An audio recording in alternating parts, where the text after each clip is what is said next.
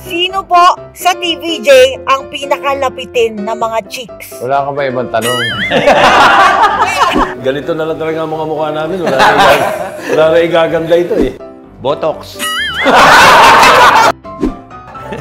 Speaking of patigas ang ulo. Galing. Thank you for that wonderful. Very beautiful question. Ano nga ulit yun? Dito sa ngayon ko lang po narinig yan. ah. Ayun na naman, asibak na naman. For you po, ano po yung pinaka-memorable time nyo together as TVJ? Ako sa akin, palagay ko ito na dahil na-meet ka namin, alim ko Uy, grabe ka na! Grabe ka na, ha? Hindi naman totoo yung lumalaki na ulo mo, no? Hindi totoo yun. Sabi, sasabihin ni Tito, ang nakaisip ng pangalan ng Bulaga, si Joey, It Bulaga.